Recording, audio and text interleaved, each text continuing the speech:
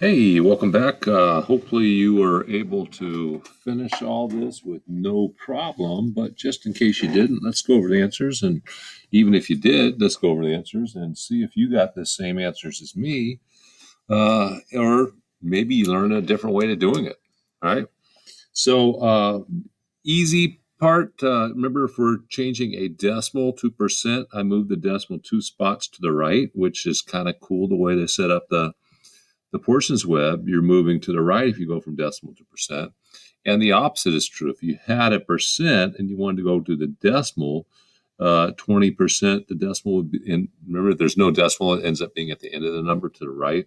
So uh, 20, you move it two spots to the left if I'm going to a decimal, which is going to the left, two spots get 0.2. So that's kind of cool.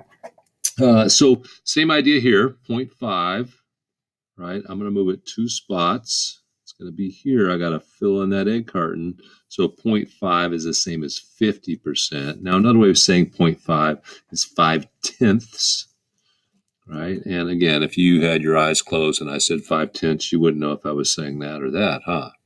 Right? Uh, as a fraction, you can simplify it because 5 goes into 10. So 5 tenths becomes 1 half, and that's the easiest uh, fraction to draw there is, right? You can even write it in words if you want because it's not that hard. Half. Okay, 1.75, move it over two spots. It ends up being on the other side of the 5. That's 175%. You think, oh, I must have done something wrong.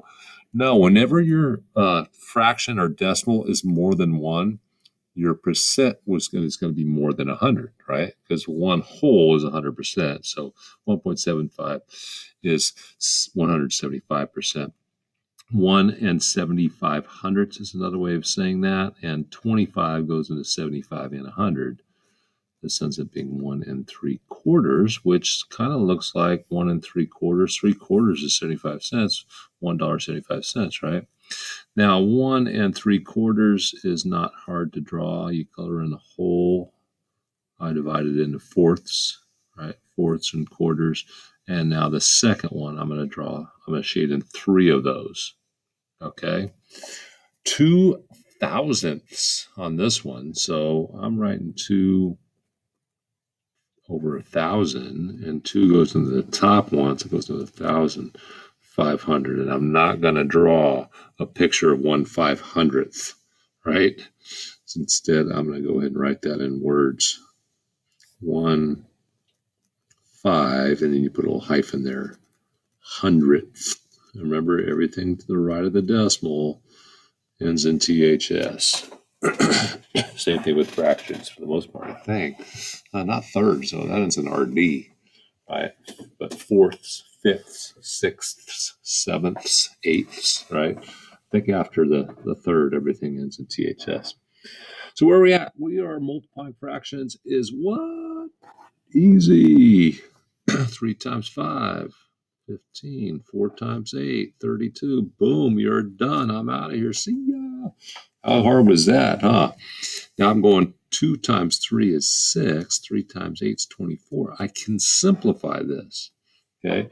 And you'll learn later that you can simplify before you start. If you recognize a 3 goes into the top and a 3 goes into the bottom, you could say 3 goes into 3 once and 3 goes into 3 once. And 2 goes into the top once and goes into 8 four times. So 1 times 1 is 1, and 4 times 1 is 4. And check this out 6 goes into 6 once, 6 goes into 21. So you can simplify before you start. The key is it has to be going into the top and bottom. Now, why does that work? Well, because really, 3 over 8 times 2 over 3 3 over 8 times 2 over 3. It's 3 times 2 on top and 8 times 3 on the bottom. Well, 3 times 2 is the same as 2 times 3, right? So what if I flip these two?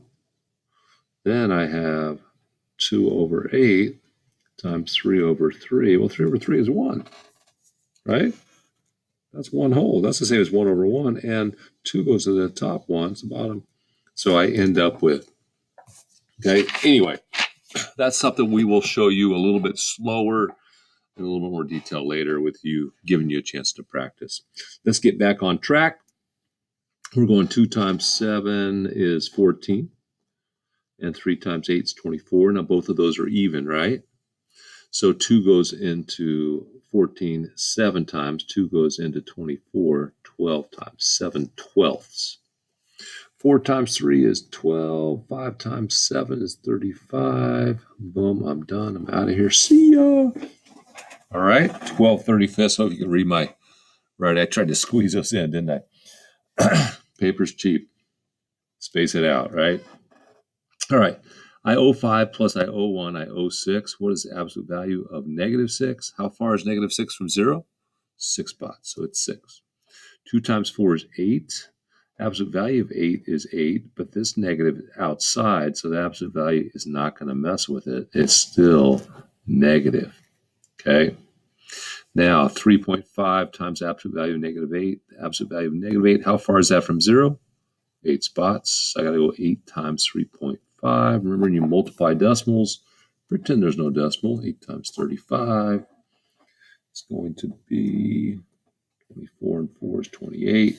Now I go back and say, wait a minute, that wasn't 35. I had to move the decimal over one spot to the right to pretend it was 35. So I have to go back one spot in my answer. So 28 on that one.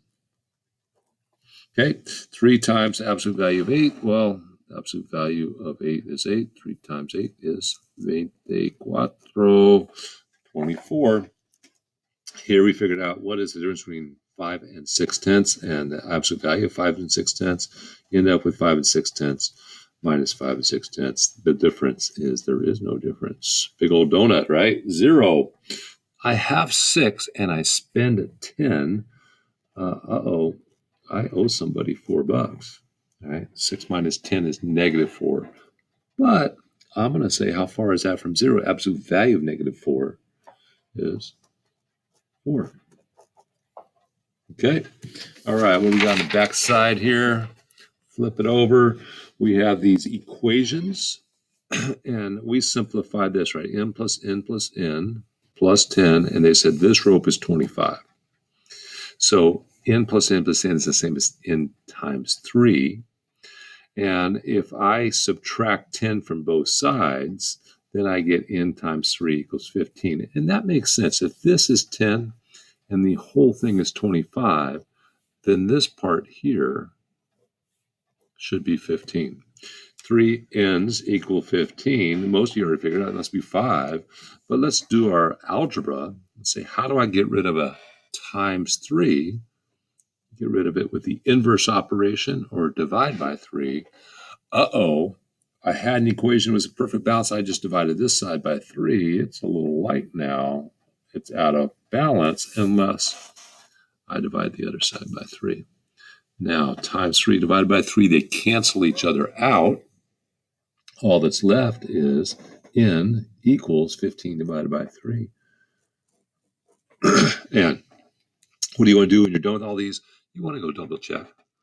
5 plus 5 plus 5 plus 10. Does that equal 25? It does. or you go back and you plug in, substitute 5 times 3 plus 10. Does that equal 25? 15 plus 10, 25. Boom, you got it right. All right, same idea on the next one. x plus x plus x plus 10, or x times 3 plus 10 equals 310. That equation is in perfect balance. I want to get rid of that 10 first I subtract 10 from both sides, right? Got to do the same thing to the other side. Subtract 10 to this side, and I subtract 10 from this side. And that way I'm making sure I do the same thing to both sides. I end up with x times 3 equals 310 minus 10. 300. Now I want to get rid of a times 3. How do I do that? The opposite of times 3 is divided by 3. But if I do it to that side, I better do it to this side. Okay? They cancel each other out. Times 3 divided by 3. All that's left is x. And this side I have 300 divided by 3, which is 100. Some of you figured that out in your head. But go through this process and practice it. So it becomes a habit. So when you get to problems you can't do in your head, like this next one, a lot of you won't be able to do that in your head. Uh, you have the habits, right? So j plus j plus 10 uh, equals 13. Let's get rid of that 10 minus 10. I got to do it to the other side. Okay, these are opposites. Opposites attract. They go run away together, right? I have j times 2. It's the same as j plus j equals 13 minus 10, 3. I got to get rid of that times 2 with a divided by 2. But if I do it to that side, better do it to that side. All that's left on this side is j, and on that side I have 3 divided by 2 is what? 1 and 1 half. Tough one, huh? And 1 and 1 half and 1 and 1 half together, 1.5, 1.5, makes 3, and 3 plus 10, 13. All right. C method. 11 times 5, excuse me, I keep coughing. I sort of have a scratchy throat. 11 times 5 is 55 plus 3 more, 58 elevenths. You want to make sure we got it right? Do the opposite. Divide the bottom into the top. How many times does 11 go into 58? Uh, five times, huh? Because that's 55. My remainder goes on top. My divisor, what was on the bottom when I started, goes on the bottom. I'm back to 5 and 3 elevenths. Must have done it right. Okay. 4 goes into 49 12 times. I'm going to go ahead and go. I could have done it one step at a time, but I know my 12s because it's like how many inches in 4 feet. I'm good, good at my 12s. So 4 times 12 is 48. My remainder goes on top. What was on the bottom goes on the bottom. You want to double check we got it right? 12 and 1 fourth. Let's use the C method. 4 times 12 is 48 plus 1 more is 49. What does it go over? Well, what was the denominator when I started? Got it right. All right, C method. 20 times 3 plus 1. 60 plus 1. 61 over what? 20th. Okay, I want to double check. This video would be shorter if I didn't double check every answer, huh? My remainder goes on top. What was on the bottom goes on the bottom. Got it right. 100 times 6 is 600. So 100 goes into 603 six times. I have a remainder of 3. My remainder goes on top. Divisor on the bottom. All right, that was what was on the bottom. Same denominator. Want to double check? C method. 6 and 3 hundredths. C method, 100 times 6 is 600 plus 3, 603. What goes on the bottom? What was on the bottom? Boom. How'd you do? Hopefully you did well. If anything is confusing, please give your teacher a cookie. What do I mean by that? You don't have to bake cookies, though you could. Uh, go ask them a question asking us teachers questions like giving us cookies. We love it. Bring it. All right. All right. Have a good. We will see you soon.